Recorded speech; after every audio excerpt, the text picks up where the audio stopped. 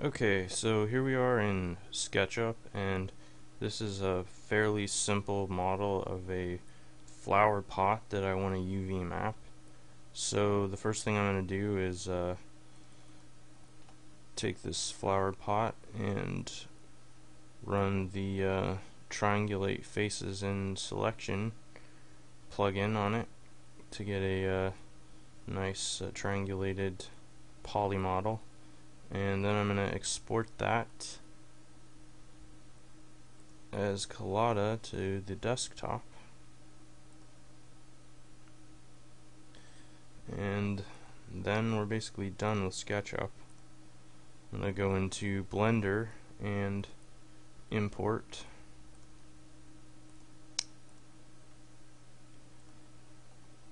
And there's my model. Now just do the basic uh, post-processing.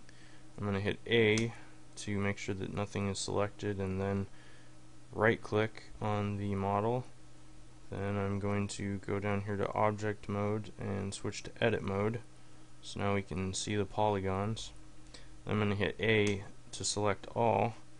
Go to remove doubles, recalculate, and the post-processing is complete. So before I go any farther, I'm going to save this file.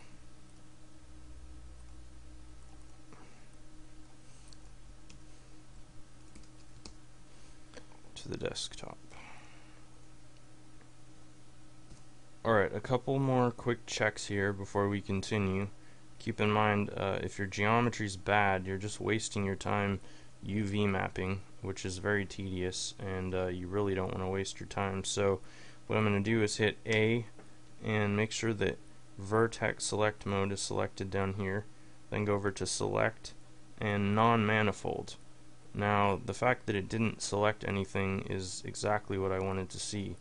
If for example a bunch of these vertexes had lit up like this and became orange that would be very bad. It would mean there was internal polygons inside this mesh and that would basically mean that my geometry was no good and I'd have to go back to SketchUp and clean it up and uh, make that right so that I would actually have a good model to uh, UV map. But since nothing lit up the uh, model is basically good to go. So uh, keep that in mind. Definitely you'll want to watch out for those non-manifold vertexes.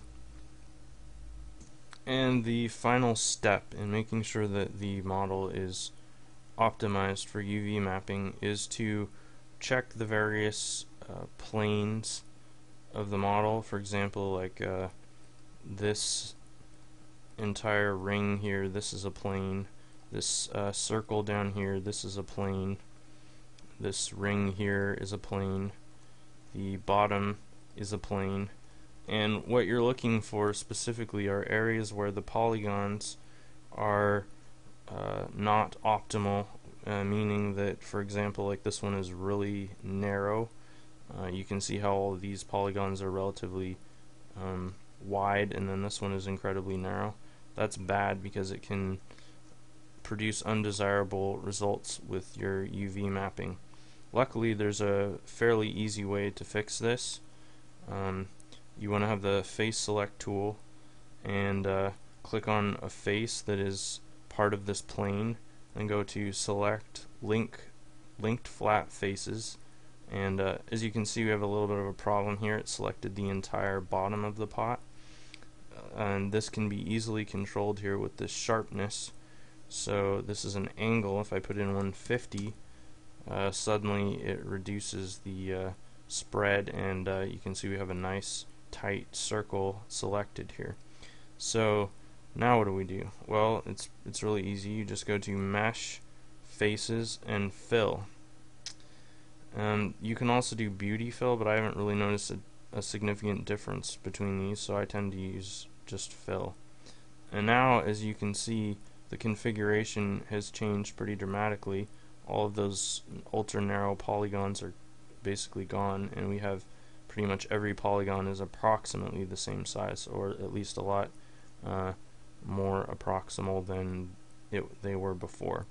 So that's kind of what you want to do on uh, all of those uh, contiguous areas, one thing to uh, keep in mind is that uh, fill does not really work well on curved surfaces. So, for example, if I was to fill this uh, ring around here, uh, that would that would probably give me undesirable results and could distort the geometry. So you want to try to stay limited to um, these flat uh, planes, contiguous planes.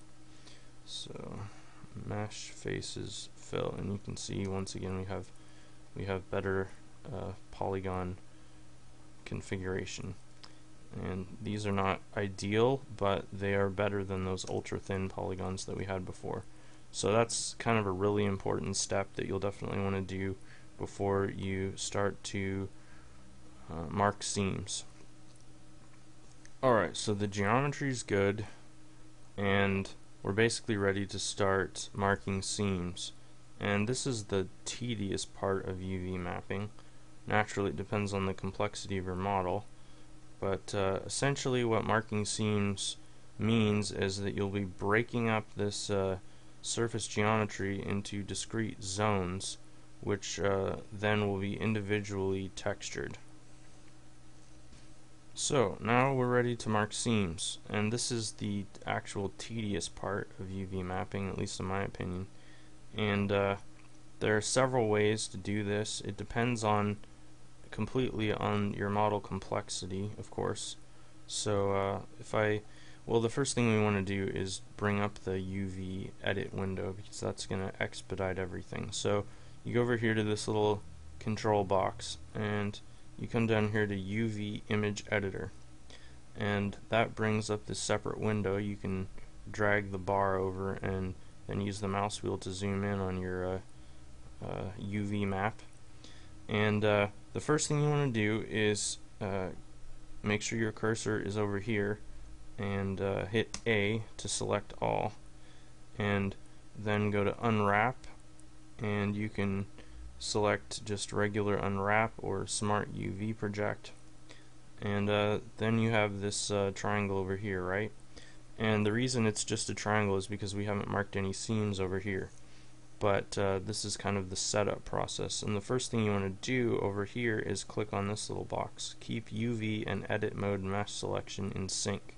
So basically what that does is it syncs these two windows. So if you're over here and you deselect the uh, UV map will still be visible over here but it won't be selected. So as you can see they're synced now.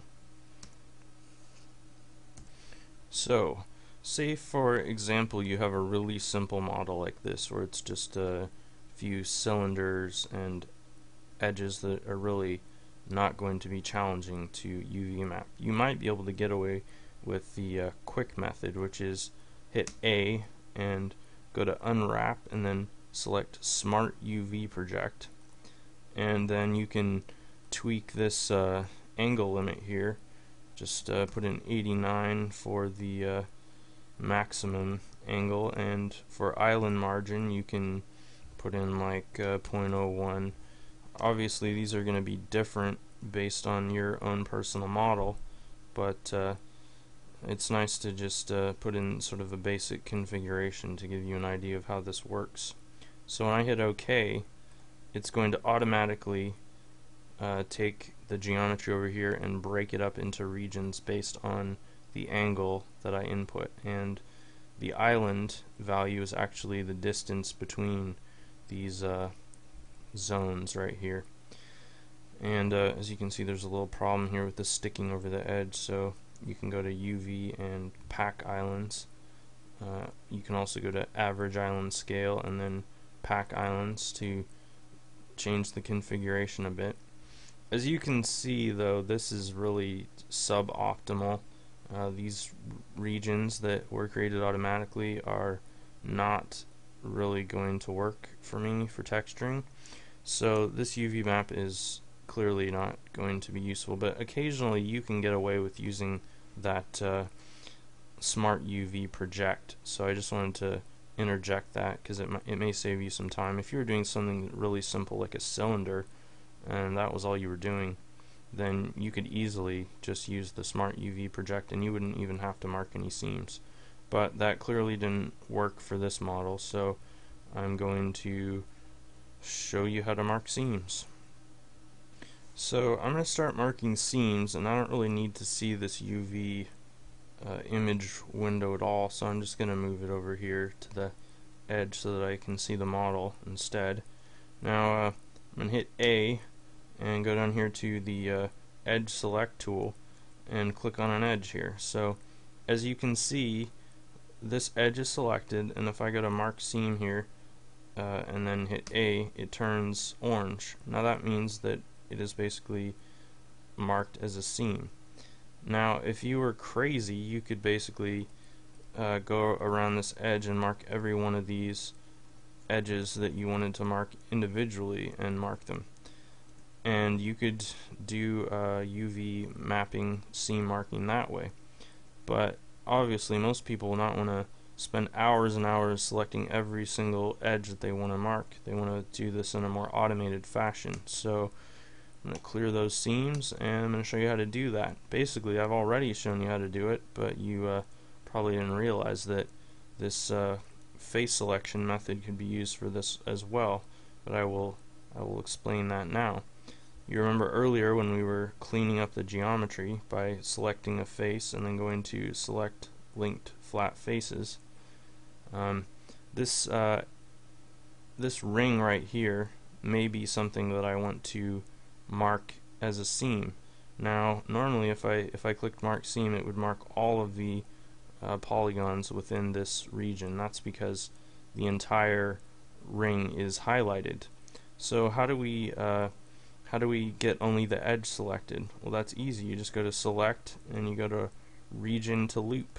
And now what that does is it selects just the ring. So now I have this nice ring selected and you'll see over here if I go back to my UV map and I select all and I go to unwrap, unwrap.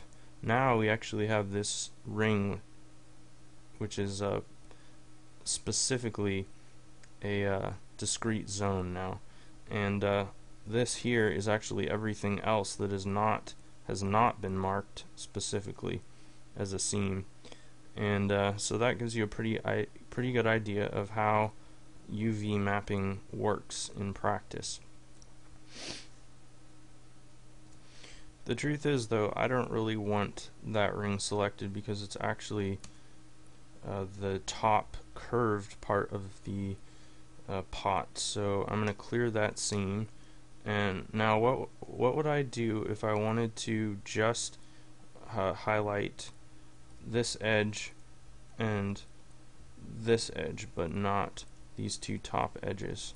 Well, that's fairly straightforward. You just uh, click on one of these faces, go to select linked flat faces, and uh oh, we have a little bit of a problem here basically the uh, sharpness needs to be uh, raised a little so I'm going to put in 150 there 150 degrees.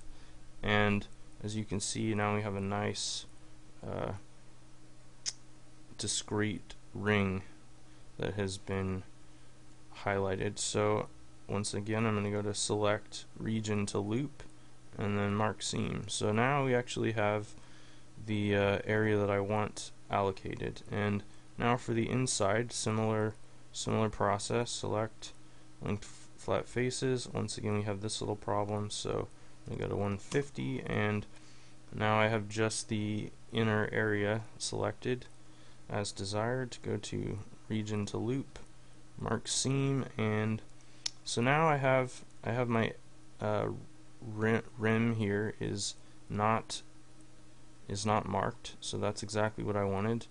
And yet the uh, inner and outer um, part of the ring has been clearly marked. So let's see what effect that has on the UV map over here. I'm to go to A to select and then unwrap unwrap.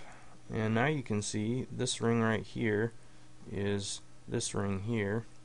And uh, one useful way to actually see what's going on here is to select a few of these faces and because it's synced with that little button down here you can actually uh, see what's going on and uh, this makes it very easy to determine which uh, regions over here in your UV map is actually the geometry that you're uh, working with on your model. So that's basically how to uh, get the results that you want and uh, I'm just gonna quickly finish uh, finish up the mark seam marking and uh, proceed with the uh, rest of the tutorial. Alright, so I've marked all the seams that I want to mark, and now I'm going to run the UV map one more time, just to get a something to start with. So now you can see I have a pretty good arrangement here of discrete zones that look like they will be fairly easy to texture.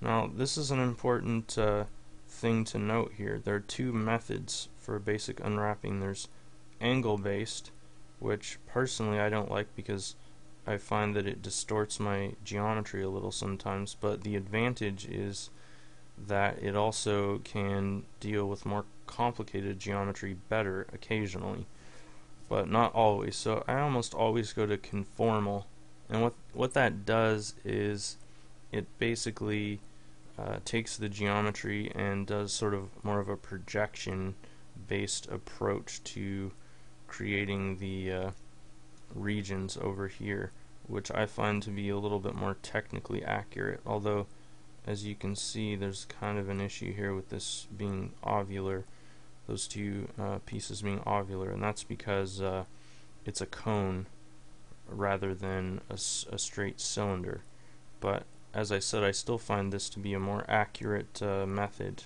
overall, and it's okay to leave these two boxes checked. So there's still a bit of a problem, and that is that these uh, these regions here are a little bit too close together. So this is basically what I do for post-processing the uh, UV map that's been generated. I go to average island scale. Keep in mind that's not always useful, but uh, most of the time it is and what that does is it just takes these regions here and it it averages them out so that uh, you have a more accurate representation of the geometry although sometimes it can really just distort the hell out of them and that's not good and uh, the the second thing is pack islands. So all that does is it packs it packs these together within the bounds of the UV box. And uh, this is the sort of the key thing the useful part of packing over here is that there's a margin. And you can change this. And uh, what that does is it is it creates space between these uh, regions. And here you can see how this works. It's pretty straightforward but um, you you want enough space so that you can individually select these if you want to manipulate them further so uh, I'm probably going to start out with a rather um, large margin just uh, because it will make it easier for me to to tweak these uh, regions here. But before I go any further, what I want to do is address this uh, distortion here. Now, you'll find that a lot of times with uh, geometry, anytime you have a cylinder or something that is that is long and uh, contiguous that wraps around, that you'll have this kind of trouble. So uh, the solution for that is to actually take take this uh, circular shape here and break it up by marking a vertical seam and uh, I'll show you what that does. It's pretty self-explanatory. It takes this shape and it breaks it up from a circle to an arc. And uh, since it's angle based it's a lot more of an arc than it should be. But even as as a conformal projection you can see it's still it's still pretty much a pronounced arc. And uh, I don't always do this. I do this when I feel like it's absolutely necessary. Um, since this is a simple model I probably wouldn't even do this but just for the sake of the demonstration I'm going to to mark both of these so that uh, we can actually see how you deal with that kind of distortion. And I'm also going to mark this little circle on the inside because as you can see down here, uh, that's actually not a problem and no one would even notice this but I'm just going to do it for the uh, sake of the tutorial so that you can sort of get an idea of the uh, positive side of uh, taking these regions and breaking them up further. Now the problem with this is it makes texturing a little more challenging in some cases, but it can also make texturing dramatically easier. Like say I want to have some kind of a design that goes all the way around this pot, clearly it would be uh, easier to do it uh, along the surface of this flat shape rather than one of these circles. So that's kind of the uh, the reasoning behind uh, breaking up those regions. And of course, uh, it depends entirely on your model. You may or may not want to do that. So now that I have this uh, more improved UV map over here, I'm going to run my uh, post-processing again, average island scale, and pack islands. And then I'm going to change this value to 0.01 so that I get a little more density and that density actually allows for these areas to be larger. So this is looking fairly good. And this is uh, definitely uh, refined from the first couple of uh, projections. So that's kind of the basic idea. You just want to keep refining your UV map until uh, you get one that is going to be easy to texture, and highly manageable.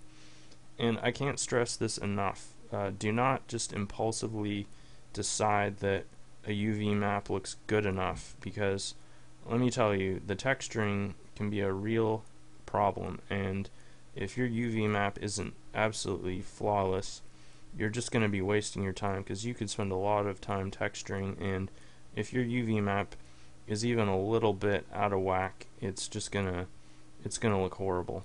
But uh, we'll go over go over that a little bit later in the tutorial. Alright, so you have your basic UV map over here now, and it looks pretty good, right? But there's still a little bit of weirdness, like this little uh, segment over here is just kind of off to the side, and it's maybe a little bit smaller than you want. So how exactly do you go about manipulating these uh, regions? Well, it's fairly straightforward. Um, always make sure that you have the um, selection in sync and uh, then what you're going to want to do is uh, deselect all and make sure that your face selection mode is active and now say we want to take this little shape right here well what we're going to want to do is go to select and border select this first border select. And uh, then you can you can basically drag around the shape and uh, it's selected now. And then you hit G to move it. And you can hit S to scale it. And you can hit R to rotate it. So those are the three sort of essential manipulation commands. Um, an important thing to note here if you're rotating it's not very accurate right? Uh, as you can see down at the bottom here I have my rotation angle and I want it to be exactly 90 degrees so that everything's nice and parallel. And uh, I'm having a little trouble getting 90 exactly. There's an easy solution for that. You hold down the shift key and it makes it makes that uh, rotation a little more uh, finite so that you can uh, you can basically fine tune it quite a bit more and so there you go, 90, still having a little trouble, there you go, 90 degrees. So now that's rotated exactly 90 degrees. Now if you want to re um, arrange these automatically, now that you've done a little bit of tweaking, you can hit A key a couple times until everything's selected. Then go down to UVs and pack islands.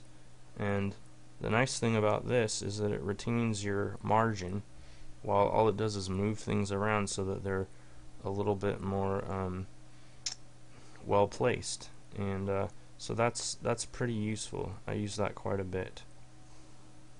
Just keep in mind that anytime you uh, use the pack islands command it's basically gonna reset your arrangement. So if you went to a lot of trouble for example to uh, take this uh, circle here and put it inside one of these other circles and maybe you had these all stacked up nicely so that you had a lot of extra space in your UV map basically as soon as you hit um, pack islands again it's gonna ruin all that so you definitely want to watch out for that as for further fine-tuning this UV map uh, what I would probably do is just uh, take a couple of these circles and uh, move them into a little bit better of a position and scale them a little so that uh, they're a little bit larger.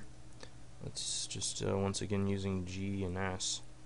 And since this is such a simple object, I don't really need to do a lot of advanced manipulation. So uh, basically I'm just going to take these two circles and move them into a little bit uh, better of a spot. I mean, I'm not really getting much more in terms of resolution out of these, but uh, every little bit does count. And as I said before, I can never stress enough that your UV map, once it's done, it's pretty much set in stone unless you want to completely redo it. So take as much time as you need to get it really, really good so that you can definitely feel like you're confident when you're texturing that you're not just wasting your time. So this this right now is uh, I'm gonna call this good enough for me. It's uh, it's not perfect. There's definitely more that I can do to tweak it, but as I said, this is a simple object, so there's no reason to really go above and beyond with the UV map. So the next step is exporting the UV layout. So what you want to do is uh, hit your A key and make sure everything's selected. Then go down to UV and export UV layout. And I'm going to export that to the desktop. And these are two options that I usually do. Naturally, it's up to you depending on your own personal style for texturing, but I take the fill opacity and I set it to 1 so it's completely opaque. And uh, if this is a large object, I would set this to 2048 by 2048. But since uh, since it's not all that large, it's just a small little flower pot, I'm going to leave it at the default 1024. And uh, then I'm going to export that, and now it's basically time to go into Photoshop. Of course, I'm going to save this first, and on to the next part. Okay, so I just opened that uh, exported UV layout in Photoshop, and now I have a process here that I run through. You might find something more optimal or to your liking, but this is my basic process. I take layer 0, and the first thing I do is I duplicate that layer. And then I click on layer 0, and I go to new layer. And then I make sure that I have the default black and white here and I go to edit fill with uh, background color. So now I have a white background. Then I go up to layer 0 and using the magic wand with uh, zero tolerance and uh, contiguous and anti-alias unchecked I will click in the white space and then I will go to select inverse and then I will go to edit fill with the foreground color. So that basically takes all of my texturable regions and makes them black. And now I'm going to go back over here and duplicate this uh, copy and then I drag the duplicated version down to the bottom. Then I take layer 0 and drag it to the top. I know this seems complicated but there's actually a method to the madness. And then I'm going to take the layer 0 and set the opacity to 50 and make it invisible. now lastly, I'll go to the layer 0 copy and go to select, modify, feather, and uh, if this is a large texture map, uh, 2048 by 2048, I will feather 4. If it's a small 1024 texture map, I will feather by 2. So feather that selection then go to edit and clear and then select deselect. Now as you can see what I have here is basically a complete sort of kit for making a texture and modifying the texture in Photoshop and This, uh, what you see right here on the screen is actually a really good default texture just to check and make sure that everything looks more or less good on your model when we go back into Blender. So I'm going to export that. I'm going to save to web and at, at first I'm going to save it as a JPEG. Later on I will save it as a ping but it's just quicker when you're just doing the rough edits to save as a JPEG. And uh, alright I'm gonna save that to the desktop. And uh, then go back to Blender. And go over to here make sure everything is selected. Go to image open image. And uh, find the image that we just exported. And you can usually tell which one it is because well first of all it's a JPEG. And second of all there's a little dash in between the uh, words. Of course if it's a single word there's no dash but anyway that's kind of beside the point. Open it and uh, so here's the texture map and as you can see it is overlaid or underlaid as the case may be on the UV map. Then you want to go over here to um, edit mode change that to object mode and then change this little uh, viewport shading to textured. So now you can actually see what the texture map looks like on your model. And uh, this is pretty self-explanatory, but uh, it's also very useful. And uh, so this gives us a basic idea of how the texture will be applied to the geometry using the UV map and you can check and make sure there aren't any errors or any kind of irregularities or weirdness and uh, also the uh, sort of beneficial side effect of this basic texturing technique is that you can see um, the you basically have a, a crude yet reliable uh, shading map that uh, gives you more or less accurate shadows for the various aspects of the geometry that uh, need to be shaded.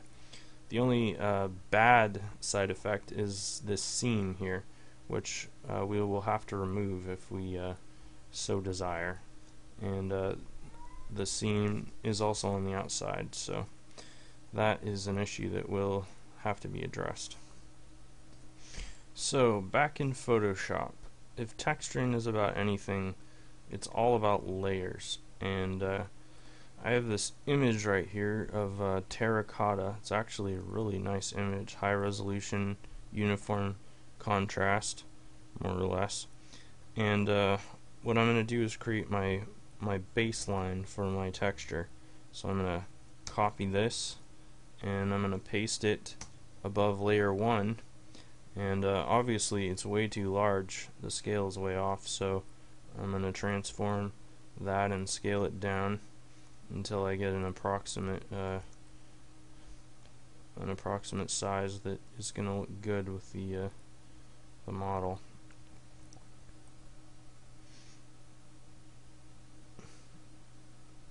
It looks like I'm probably enough to tile this because I'd say that that is probably about a good size right there. So once I've got that scaled properly I'm going to duplicate it and drag it. Try to eliminate those seams. As you can see that uh, meshed quite nicely. That's a sign of a good texture map. And I'm going to merge those two layers and I'm going to duplicate it again. Drag this down.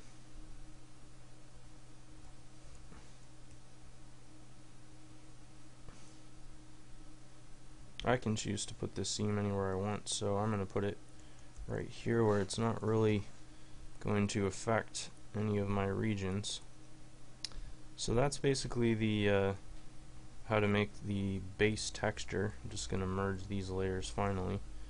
And uh, so now what I have is my approximate shadow map layer on top of the uh, baseline texture. So I'm going to just do another quick save to web to see how that looks on the pot before I proceed to make sure that the uh, scaling looks good enough. So back to Blender and I'm just going to go to image, reload image, reloads the texture map. Yeah, and uh, I'd say that's okay, and not really. The fact of the matter is the texture's too. Um, I didn't scale it down enough. That's easy enough to fix. I just have to go back and and uh, scale it down a bit more and repeat that process. So I'm going to do that. So now as you can see with this scaled down a little bit more, it, it looks considerably better, at least in my opinion. It looks more true to life. So I have a pretty good baseline texture. Now the next step is going to be sort of the tricky uh, part, and that is basically to get the uh, shading and all that looking more or less realistic because as you can see right now it's completely flat but uh, in real life there would probably be some uh, highlights and some general inconsistencies and uh, flaws in the uh, uniformity of the texture. And uh, so all of those need to be added via layers. So back in Photoshop again and uh, I'm going to make a new layer above my terracotta layer and I'm going to use one of the most useful filters in Photoshop which is render clouds now as you can see this doesn't look very good and it's completely obliterated my terracotta and that's because the opacity is at 100% and I'd say probably out of all the um, options in uh, texture mapping, opacity is one of the options that I use the most often. And you can obviously customize this value to get almost any degree of, you know, subtle variations. I like 10% for clouds on this particular texture. I think that's a good um, subtle variation. And I'm gonna just going to check that really quick in Blender and see see how that looks. So already right away you can see that we've changed the uh, inherent dimensionality of the uh, pot with that one simple filter. It no longer looks flat. It looks uh, it looks kind of uh, more dimensional, more realistic. So that's just a one quick and easy way to add a little bit of uh, variance to the otherwise uniform texture with uh, clouds and opacity. And on to the next layer. I'm going to make another layer and this time I'm going to just fill it with the foreground color and then I'm going to go to filter noise. Now this is probably the second most useful uh, filter for texture mapping aside from clouds. In fact actually I probably use noise more than than I do clouds and uh, I like to keep monochromatic checked although sometimes I use color depending on the texture but for for this effect I'm just going for a bit of highlight variance. So I'm going to leave monochromatic checked and Gaussian because uniform gives you a little bit too light and regular of a pattern. And uh, clearly you can scale this all the way up to you know 400% which is is pretty extreme or you can start with something lower. I'm probably gonna do like 200 maybe because uh, what I'm going for is highlights and uh, I'm actually gonna be removing a great deal of this uh, point cloud that I'm generating. So I'm creating the noise and uh, then I'm gonna zoom in here and uh, I'm going to go to select by color range and I'm going to select the blackest area I can find with a fuzziness of 50 and uh, that's going to select most of those uh, black pixels. And then I'm going to go to edit clear. And so now what we're left with are basically just the white pixels or most of them. I mean some of them there's going to be some grays grays in there but mostly just the whites. Uh, now there's clearly still too many, and I want a much more random and less even distribution. So I'm going to go to Filter and uh, Maximum. I'm going to set that to 1. And now as you can see, we have we have a nice distribution here of quite a few random little white specks and uh, that's exactly what I was going for and the last step of course is to change the opacity and I'm going to set that to 50 rather than 10 like we did before. So uh, as you can see those white specks are still clearly visible and uh, they are definitely going to show up in the texture. So once again I'm just going to do a quick save for web to see how that texture looks on my model. Reload image. Not exactly the effect I was going for, but uh, it looks okay. The problem is it's a little bit too light, so I may dial down the opacity. But that can be addressed in a variety of ways. Anyway, I got the approximate effect I was going for, which is these little white highlights accompanied by sort of a darker areas of uh, subtle uh, shadows, which kind of give it more of a textural appearance. The only problem is, as I said, it made it a little too white, so I'm going to have to tweak that. Alright, so back in Photoshop, and what I'm going to do to fix this uh, contrast issue is I'm going to use select by color range, click on my uh, white dots, and then I'm going to select inverse, and then I'm going to cut so that solved my contrast issue. Unfortunately, I kind of like that effect.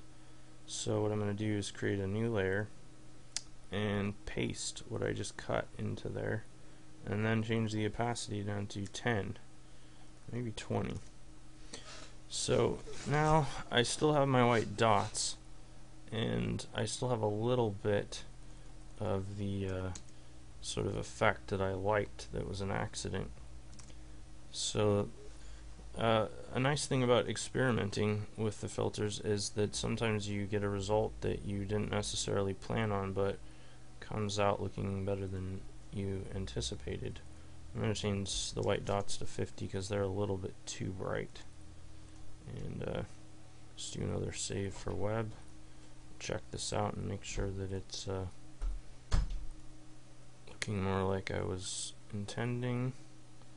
So yeah, I'm getting closer. This is definitely shaping up here. And keep in mind, this is still just my baseline texture, and uh, uh, basically I'm going to be building upon this as my foundation to really make the design pop. So next, I think it's about time I dealt with my uh, shadow map, and uh, what I'm going to do there is uh, duplicate it, and then I'm going to make invisible that copy. Now this is my standard procedure. I, any layer that I want to keep that may be useful later on, I will copy and then make it invisible and then work on the original. So what I'm going to do to change this shadow map, which is the dark outline here, is uh, I'm going to go to filter and stylize and diffuse and go to darken only and uh, I'm going to diffuse that a couple times and then I'm going to go to filter noise median. So this is dramatically changing the uh, look of the shadow map from was basically a hard ring to sort of a very uh, fragmented and uh, subtle ring. And uh, let's just see how that looks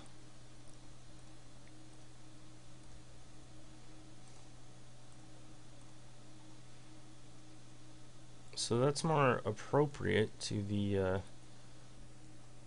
to the texture on the pot, but at the same time it's a little too subtle, and uh, we've pretty much lost most of our contrast. So what I'm going to do to fix that is take this copy here, copy it again, because I still want to keep that original, and uh, take this copy here and do a Gaussian blur Sorry. Gaussian blur, not regular blur.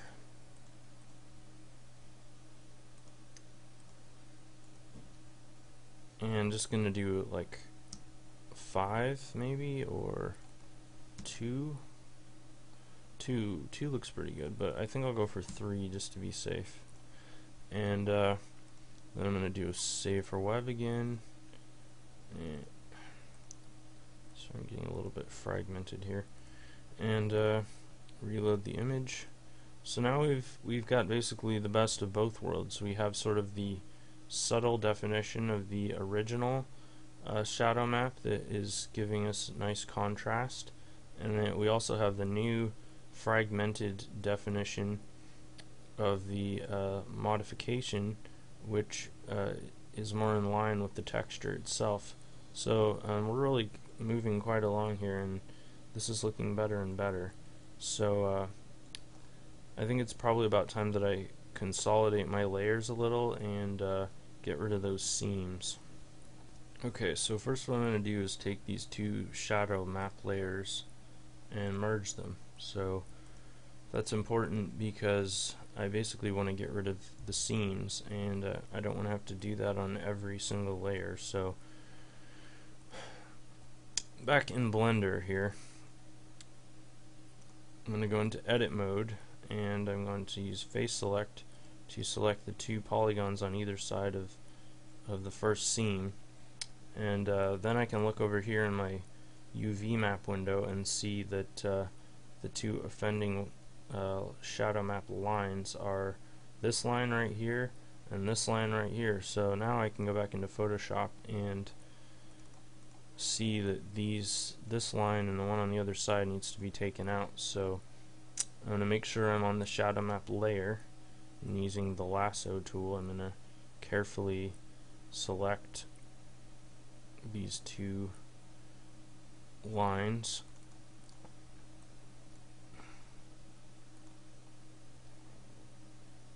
Holding down the shift key to make sure I select them both there are many ways to do this but I found that this for this kind of a model and texture map this is the fastest method.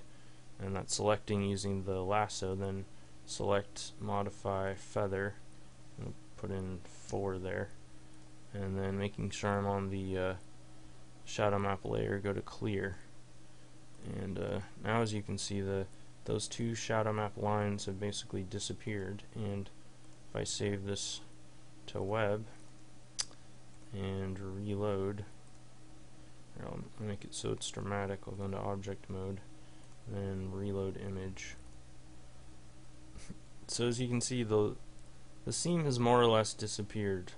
Uh, there's still the problem with the fact that the texture map isn't perfectly meshing, but uh, to be honest, given the uh, sort of uh, varied nature of the texture and the work we're going to do later, that's not even going to be visible. So uh, there's still another seam, so basically I have to repeat that process with the uh, the other uh, arc here, which uh, I won't bore you with because it's obvious what I'm going to do. So now that the seams are gone, we're basically ready to progress on to the next phase of the texture mapping, which is going to be further shading and highlighting uh, discrete zones to improve the uh, realism. So this is where my initial setup method really shines. If you remember we created this map copy down here and uh, basically the reason for doing that is that you can take the magic wand and uh, make sure tolerance is zero and contiguous is checked this time and if you're on this layer you can take any one of these regions and click on it and get a perfectly crisp selection that is precisely in line with the UV map, which uh, makes uh, texturing these discrete zones incredibly easy. For example, this one right here. This is the one that we're going to be darkening a little. So I've selected this and uh, what I'm going to do is go up to the top yet uh, below the uh, shadow um, layer and I'm going to create a new layer and then I'm going to fill that layer with the foreground color. As you can see it's pitch black but I'm just going to take the uh, opacity and set it to like uh, probably 10 I think 10 would be good and uh, now that that is a slightly darker shade I'm also going to have to uh, take the uh, bottom of the pot here and make that even darker. So what I'm going to do is go into edit mode, find out which circle is my pot bottom, and it's this one right here. So back to Photoshop and then down to the bottom layer so that I can get a nice crisp selection. Then back up to layer 5 and I'm going to create another layer. And this seems counterintuitive, but the more layers the better in some cases. And uh, I'm going to fill that and since the opacity of this layer is 10 and this is a little bit farther down I'm going to make it a little bit darker so I'm going to make it 20 and uh, so now I'm going to check that out with a save to web and see exactly what kind of effect that's creating. So as you can see basically it has a more or less desired effect of darkening the inside as would be natural with the uh, shading and shadowing and uh, the bottom is a little too dark but that's easily adjusted. I would say going back to Photoshop the uh, internal here should probably be about 15 and then the bottom should probably be about uh, maybe I can set that also to 15 just see how that looks if they're the same value it uh, it'll probably look okay given that the bottom is so so so close so yeah that's a little bit uh, truer to the uh, visually what what uh, I was going for. And uh, lastly, this little ring down here, which is this strip. And I want to make that uh, even darker. So back to the uh, selection layer, select that strip, go up to here and make a new layer. And uh, fill it, and since this is 15, I'm going to make that uh, 25 because that little circle in the bottom really has to be dark. And uh, just repeated save to webs to uh, just check and uh, make sure that this is looking good. So yeah, that can that can definitely be darker. And uh, I'm probably going to make the bottom of the pot a little bit darker too. Subtly though, not, uh, not incredibly darker and pretty much any any area where you would normally have a shadow cast by the uh, geometry I'm going to uh, reduce the brightness a little using this method in order to create uh, semi-realistic shading. Okay, so I've, I've, basically gone and done the rest of the uh, hard work here and making sure that all of these tones are complementary and that the uh, shadowing is fairly realistic.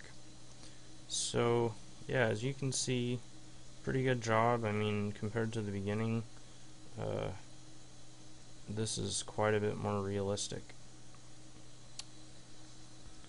And uh, the advantage of having every single one of these shadows on an individual layer is that you can basically just go in and change the opacity and achieve all sorts of various shadowing effects with very little effort. And then when you're finally done, if you really want to, you can merge all the layers into a single shadow for wholesale manipulation. Although I tend to just leave them layered like this so that I can go back and uh, tweak my texture to my heart's content if I so desire. So to make a long story short, I basically just uh, took my texture and made a few minor tweaks to it and then I added these three uh, rows of decorative tiles and the texture is basically done. So what I'm going to do is check it one last time in Blender. And this is pretty much the desired effect I was going after. So this uh, project is basically a wrap. And uh, I hope you found the tutorial useful. And uh, good luck with your UV mapping and texturing. Oh wait, one last thing. Um, I just wanted to show you this little thing. It's not really particularly related to UV mapping or texturing, but it's very useful nonetheless. Uh, this is the uh, solid view, and as you can see, there's a lot of angles and it's very angular. Uh, there's actually a thing you can do to make uh, smooth surfaces like curves and cylinders and so forth actually look smooth rather than look like crude geometry. So I'm going to show you that really quick. Just uh, select a face, select all flat faces, and uh, actually I want all three of these. Basically any surface you want to be curved you're going to want to select. So I'm going to select just this top rim here as the example and then you go to shading smooth now as you can see it had a pretty uh, dramatic effect here. It went from being angular to smooth and you're probably going to want to do that on most of these surfaces. And here this will be even more dramatic. So yeah as you can see it's a lot more smooth so that's gonna look a lot more like ceramic rather than uh, angular geometry. I mean if you like the angular look you might want to just leave that alone but if not you can always go with the uh, smoothing groups that's what they're called. And personally I find this uh, to be quite useful and you can be strategic with it. You don't have to apply it to every surface. You can apply it to just the surfaces you want in which case you can sort of customize the uh, amount of smoothness that you want. And uh, keep in mind there's only one problem with smoothing groups and that's that sometimes if the geometry is really complicated you get really bad looking shadows and you can usually clean that up with a fill but it doesn't always uh, work so just keep that in mind. Alright the video really is over now. Thanks for watching